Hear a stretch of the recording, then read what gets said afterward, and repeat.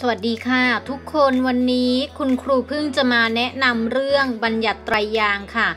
เราจะแสดงวิธีหาคำตอบ ก่อนจะไปชมคลิป อย่าลืมกดกระดิ่ง กดไลค์กดแชร์ และที่สำคัญมากๆ อย่าลืมกดติดตามเพื่อรับชมสาระความรู้ดีๆ ที่คุณครูเพิ่งจะมีให้ดูกันเป็นประจำนะคะ พร้อมแล้วมาดูกันเลยค่ะ หน้า 13 ข้อ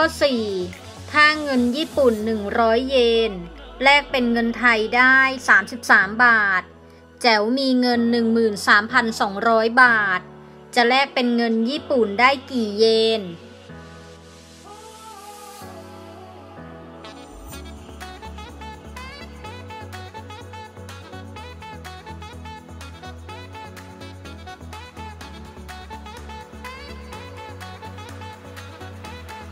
เราจะแสดงวิธีทำและหาคำตอบกันค่ะ ถ้ามีเงินไทย 33 บาท แลกเงินญี่ปุ่นได้ 100 เยน แล้วถ้ามีเงินไทย 13,200 บาท จะแลกเงินญี่ปุ่นได้กี่เยน บรรทัดแรก วิธีทำ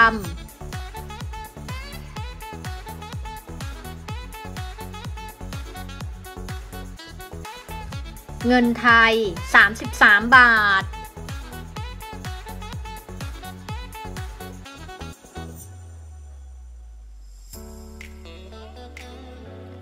แลกเงินญี่ปุ่นได้ 100 เยน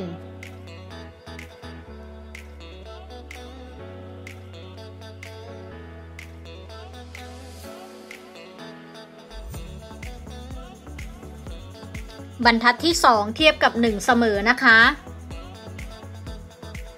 เงินไทย 1 บาท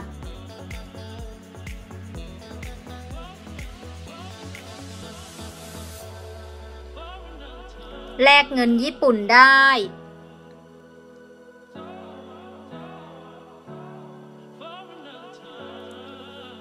ถ้า 33 บาท แลกได้ 100 เยน แล้วถ้า 1 บาทล่ะคะ จะแลกได้มากขึ้นหรือน้อยลง น้อยลงเท่าๆกันหลาย ๆ ครั้งทำวิธีหารทำการหารในรูปเศษส่วนค่ะ ขวา ส่วนซ้าย ขวาก็คือเท่าไหร่คะ100 ส่วนซ้ายก็คือเท่าไหร่คะ33 ก็จะได้เศษ 100 ส่วน 33 เยน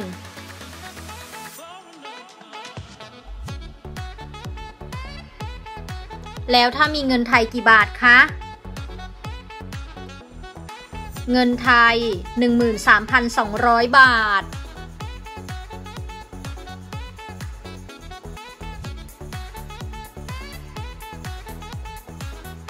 แลกเงินญี่ปุ่นได้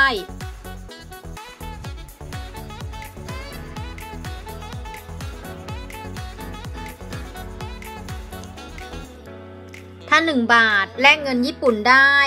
เศษ 100 ส่วน 33 และถ้า 13,200 บาทล่ะคะ ก็จะได้เพิ่มมากขึ้น เท่าๆ กันหลาย ๆ ครั้งทำวิธีคูณนำ13,200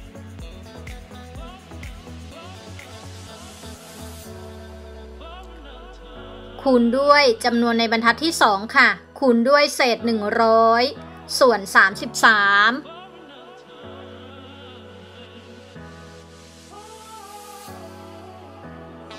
เราจะทำการตัดเลข 33 กับ 13,200 โดยใช้สูตรคูณ 33 33 คูณอะไร จะได้ 33 33 คูณ 1 เป็น 33สามสิบ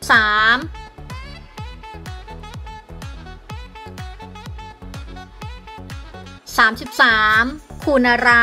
จะได้หนึ่งร้อยสามสิบสอง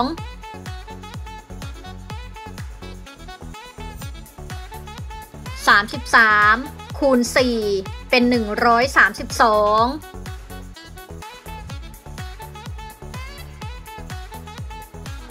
สามสิบสาม คูณอะไร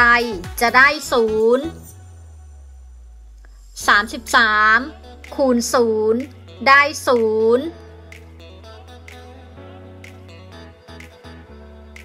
33คูณอะไร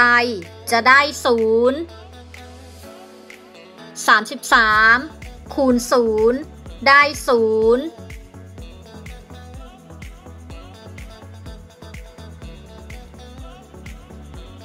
ตัดกันแล้วตัวส่วนเป็น 1 แล้วนะคะนำตัวเศษคูณกันเลยค่ะนำ400 คูณ 100นำ400 คูณ 1 ก่อนนะคะ 400 คูณ 1 เป็น 400 แล้วก็ต้องเติมศูนย์เพิ่มอีกกี่ตัวคะ อีก 2 ตัว เติมศูนย์เพิ่มอีก 2 ตัว 400 แล้วก็เติมศูนย์เพิ่มอีก 2 ตัวนะคะ นับ 1 2 3 ใส่เครื่องหมายค่ะ 1 2 3 ใส่เครื่องหมาย ก็จะได้ว่าเงินไทย 13,200 บาท แลกเงินญี่ปุ่นได้ 40,000 เยน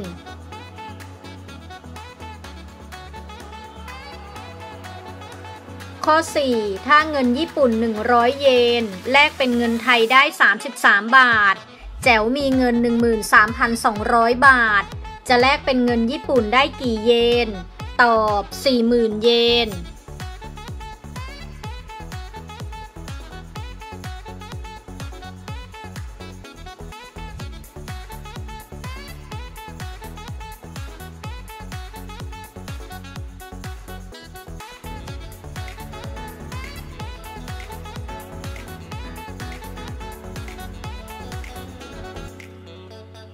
ข้อ 5 มะนาวขนาดเดียวกัน 50 ผล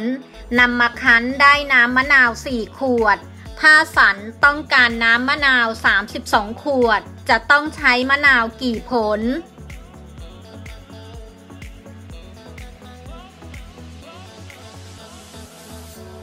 เราจะแสดงวิธีทำและหาคำตอบกันค่ะ น้ำมะนาว 4 ขวด ต้องใช้มะนาว 50 ผล แล้วถ้าน้ำมะนาว 32 ขวด จะต้องใช้มะนาวกี่ผล บรรทัดแรก วิธีทำ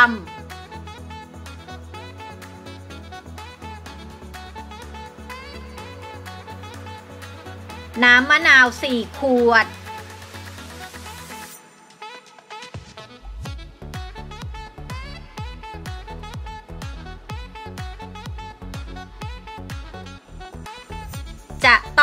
มะนาว 50 ผล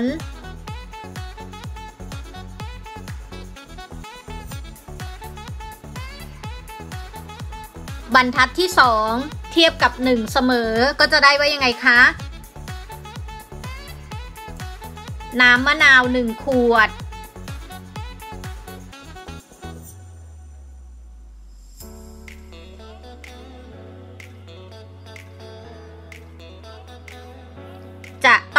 มะนาว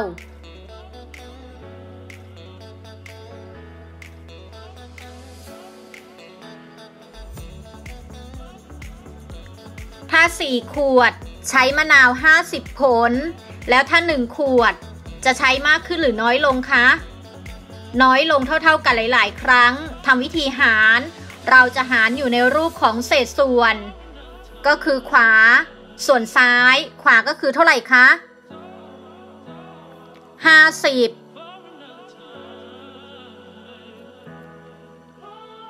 ส่วนซ้ายก็คือเท่าไหร่คะ ก็คือ 4 ก็จะได้เศษ 50 ส่วน 4 ผล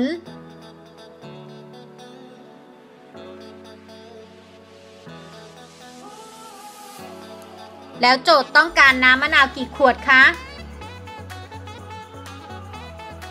น้ำมะนาว 32 ขวด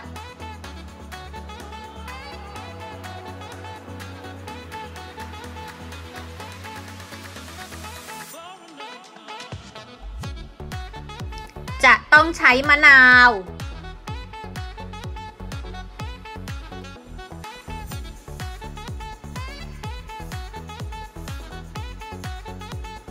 ถ้า1ขวด ใช้มะนาวเศษ 50 ส่วน 4 ผลแล้วถ้า 32 ขวด เพิ่มขึ้นเท่าๆกันหลาย ๆ ครั้ง ก็ต้องทำวิธีคูณนำ32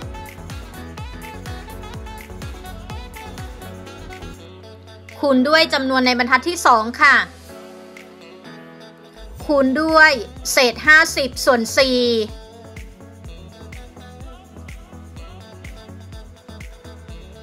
เราจะทำการตัดเลข 4 กับ 32 โดยใช้สูตรคูณ 4 4 คูณอะไร จะได้ 4 4 คูณ 1 เป็น 4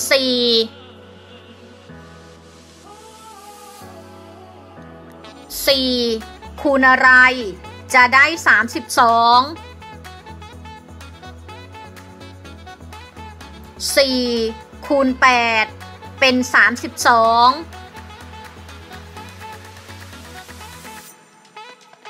ตัวส่วนเป็น 1 แล้วนำตัวเศษคูณกันนำ8 คูณ 50ทำการคูณหลักหน่วย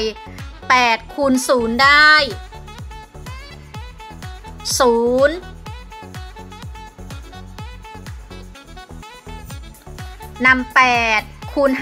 5 8คูณ 1 เป็น 8 8คูณ2เป็น 16 8คูณ3เป็น 24 8คูณ4เป็น 32 8คูณ5เป็น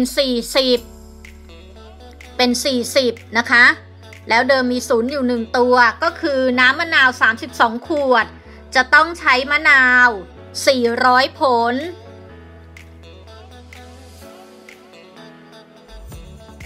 ข้อ 5 มะนาวขนาดเดียวกัน 50 ผลนำมาคั้นได้น้ำมะนาว 4 ขวด ถ้าสันต้องการน้ำมะนาว 32 ขวด จะต้องใช้มะนาวกี่ผล ตอบ 400 ผล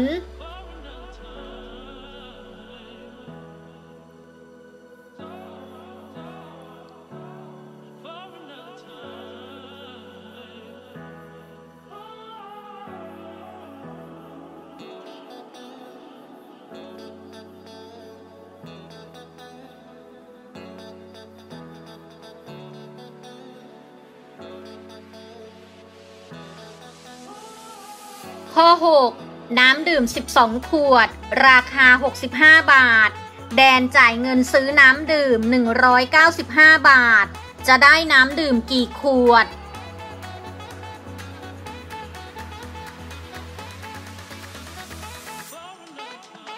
เราจะแสดงวิธีทำและหาคำตอบกันค่ะ ถ้าจ่ายเงิน 65 บาท จะได้น้ำดื่ม 12 ขวด แล้วถ้าจ่ายเงิน 195 บาท จะได้น้ำดื่มกี่ขวด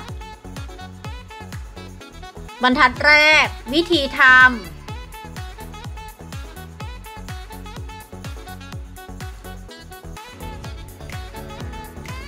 จ่ายเงิน 65 บาท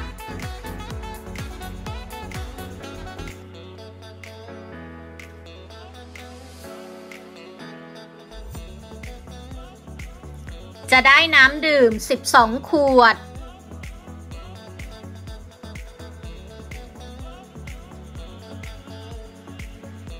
บรรทัดที่ 2 ต้องเทียบกับ 1 เสมอก็จะได้ไว้ไงคะ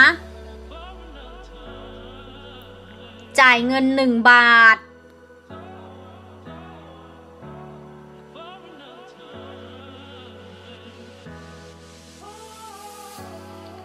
จะได้น้ำดื่ม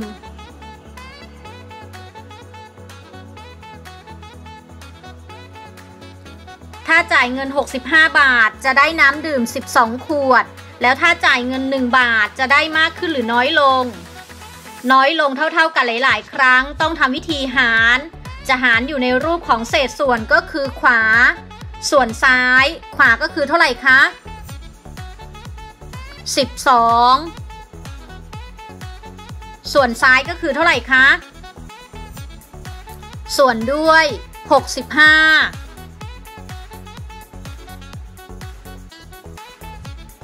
แล้วถ้าจ่ายเงินกี่บาทคะ จ่ายเงิน 195 บาท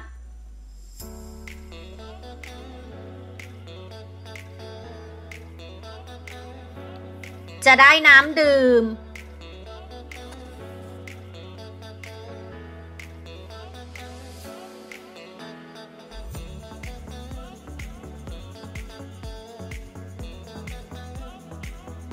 ถ้าจ่าย 1 บาทจะได้เศษ 12 ส่วน 65 ขวด แล้วถ้าจ่าย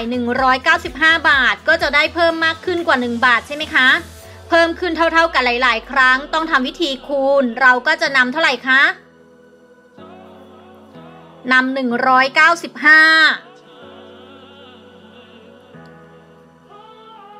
คูณด้วยจำนวนในบรรทัดที่ 2 ค่ะ คูณด้วย เศษ 12 ส่วน 65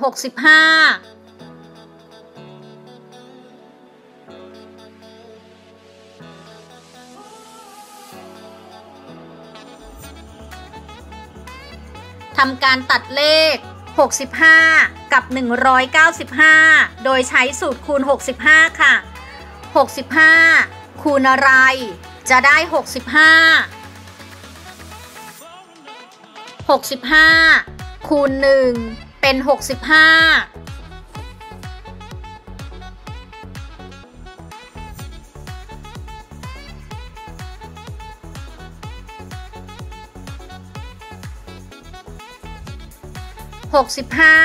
คูณอะไร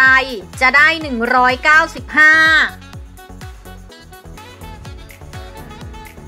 65 คูณ 3 ได้ 195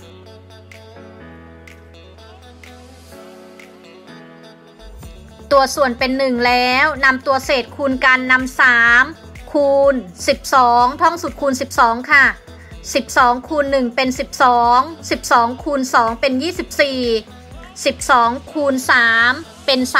36 ได้เศษ 36 ส่วน 1 ก็คือ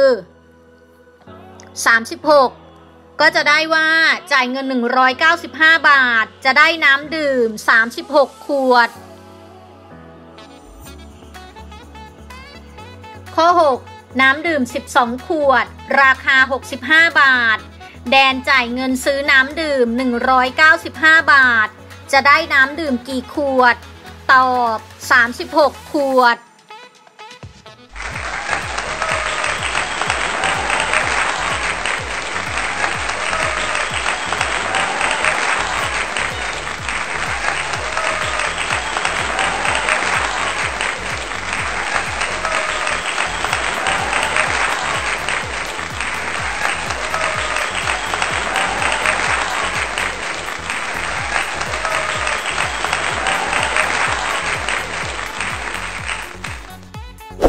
อยากเก่งคณิต คิดถึงคุณครูพึ่ง อย่าลืมกดติดตามกันด้วยนะคะทุกคน และอย่าลืมกดกระดิ่งเพื่อจะได้ไม่พลาดคลิปใหม่ต่อๆไปนะคะ อย่าลืมกดติดตามกันด้วยนะคะทุกคน และอย่าลืมกดกระดิ่งเพื่อจะได้ไม่พลาดคลิปใหม่ต่อๆไปนะคะ